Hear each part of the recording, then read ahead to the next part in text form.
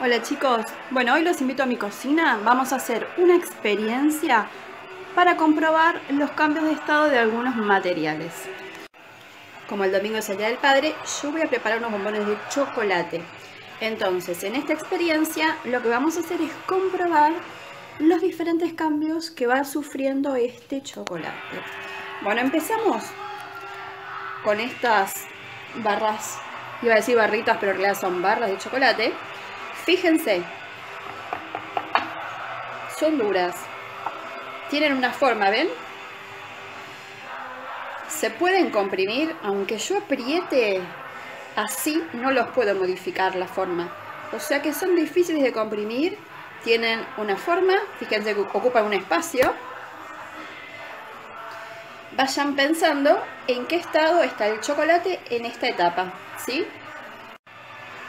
Estos pedazos de chocolate yo ahora los voy a cortar en pedazos más chiquitos a ver qué cambia.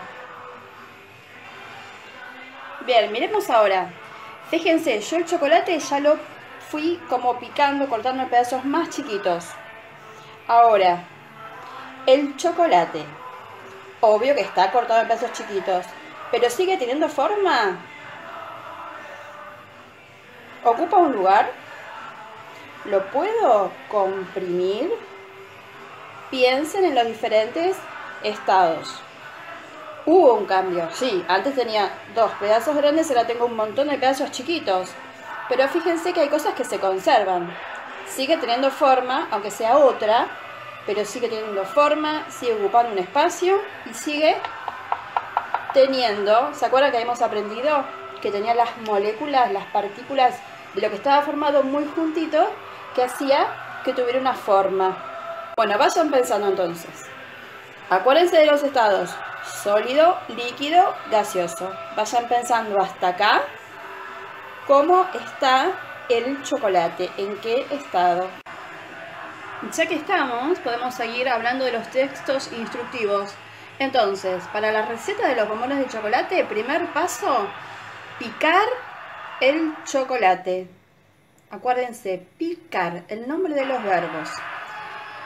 Para ir al segundo paso, yo ya puse, fíjense, en el fuego una cacerolita y adentro hay agua y puse un bowl, que no lo voy a tocar porque es de y me va a quemar. El bowl no toca el agua, pero la va a calentar. Segundo paso, prender el fuego y colocar una cacerolita con agua y un bowl donde vamos a colocar el chocolate que ya está picado. Presten atención a este paso que es importante. Prendí el fuego. Fíjense, ¿llegan a ver un humito que sale de la cacerolita? Bueno, el agua está hirviendo. Por eso sale ese humito que después vamos a ver si realmente es humito o es otra cosa. Volviendo a nuestra receta, este sería el paso donde colocar el chocolate picado a baño María. Baño María que es lo que les expliqué antes, la cacerolita con agua que está al fuego, el agua se calienta y ese humito que sale, que en realidad es vapor de agua, hace que se caliente el chocolate y vamos a ver después qué pasa. Como les dije antes, importantísimo que presten atención a lo que apareció en este punto. Ahora hay que tener paciencia, pero fíjense ya cómo va cambiando el chocolate. Igual hay que esperar, pero ya vemos que el que está más abajo va cambiando.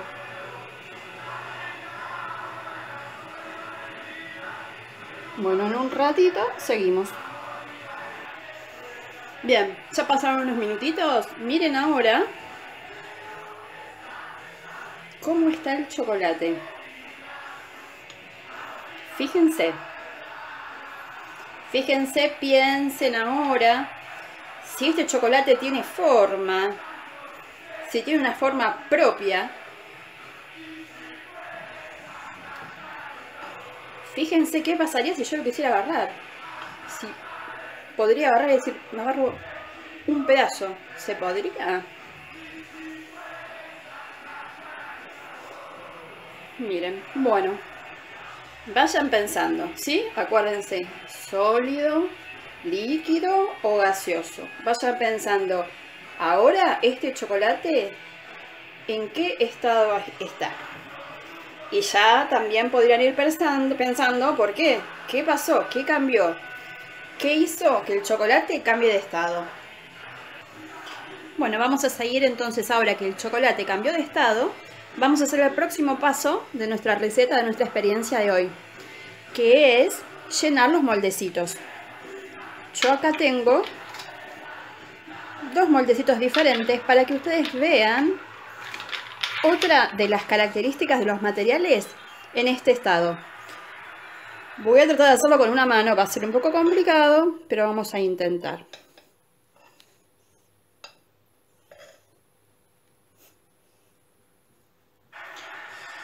Fíjense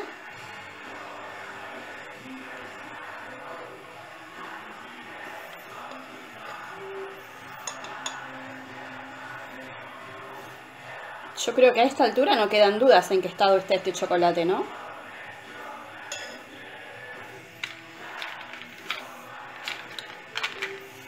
Fíjense la forma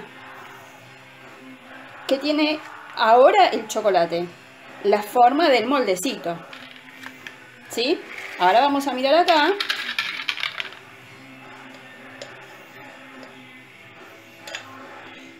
Y fíjense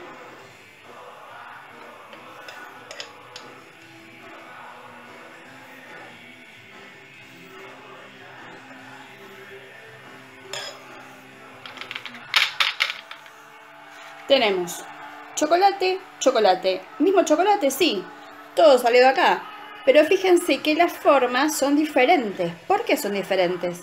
Porque acuérdense que una de las características de los materiales en este estado es que se adaptan a la forma del recipiente que los contiene. Así que por ahora tenemos dos formas. Ahora yo voy a hacer unos más y enseguida seguimos. Bien, próximo paso colocar en el freezer unos minutos. Presten atención, bueno mi freezer está lleno de hielo, presten atención esto que estamos haciendo que también es importante para que después saquen las conclusiones. Piensen, freezer, frío. Bien, ya pasaron unos cuantos minutitos, yo lo dejé unos 15 pero yo creo que a los 10 ya estaría. Pero bueno, lo dejé por si acaso 15. Y ahora vamos a ver qué pasa con estos bomboncitos. Todavía no sé si son bomboncitos. Hasta ahora era chocolate, el estado me lo van a decir ustedes. Y ahora vamos a ver qué sucede. Miren que esto es en vivo y en directo.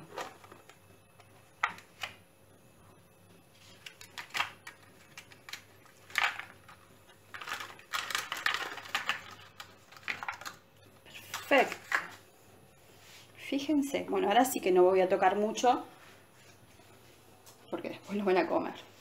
Miren. Está en el mismo estado que estaba antes de entrar al freezer. Fíjense la diferencia. Miren lo que están acá y ahora miren acá atrás.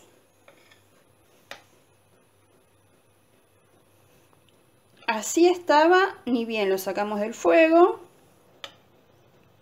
y los pusimos en el freezer. Y ahora cuando los sacamos del freezer, ya están en este estado. Fíjense que ahora sí, están duritos, yo los podría agarrar, tienen una forma. No es que se adaptan a la forma de la tabla de picar, porque si no, es como que se extenderían. Tienen forma propia y están en el mismo estado que estaban antes de que los cortemos, antes de que los pongamos en el fuego. Bueno, preguntas para ir pensando hasta ahora. Primera pregunta, ¿En qué estado estaba el chocolate? En el primer paso, antes de que yo lo cortara, cuando lo corté, en ese estado. ¿Qué estado era? Pregunta número uno. Pregunta número dos. ¿En qué estado estaba el chocolate y sigue estando todavía acá cuando lo colocamos al fuego? Pregunta número dos. Pregunta número tres. ¿En qué estado está el chocolate ahora? En este tercer paso. Acuérdense lo que yo hice, ¿sí? Lo guardé un ratito, unos minutitos en el freezer. Y cuarta pregunta, cuarta pregunta que tienen que pensar y pensar y pensar, ¿por qué? ¿Qué es lo que hizo? ¿Qué motivó estos cambios? ¿Qué hizo que pasara de un estado al otro y de ese al anterior? Van a pensar, acuérdense lo que yo les dije que vayan mirando a medida que hacíamos el videito. Y para seguir con el tema de la receta, con el instructivo, entonces, estábamos en llevar al freezer unos segundos y este paso era desmoldar. Desmoldar, que quiere decir dar vuelta al moldecito para que caigan los bomboncitos. Bien, y para terminar les muestro el segundo modelito, fíjense, como les había dicho, tienen otra forma, pero otra vez, son duritos, no se pueden comprimir, tienen forma, ocupan un lugar, están en el mismo estado. Entonces, mientras yo sigo preparando bomboncitos, los dejo hasta mañana, o en realidad ustedes este video lo van a ver mañana. Así que hasta pronto, los dejo con esta bella imagen de los bombones. Un besito grande chiquis.